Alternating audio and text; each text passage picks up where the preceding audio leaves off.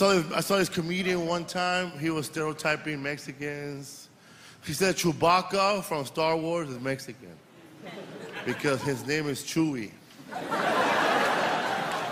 And he's a mechanic. And he rolls all his R's. First of all, Chewbacca is too tall to be Mexican. If anybody Mexican in Star Wars is R2D2. His name sounds Spanish, Arturito.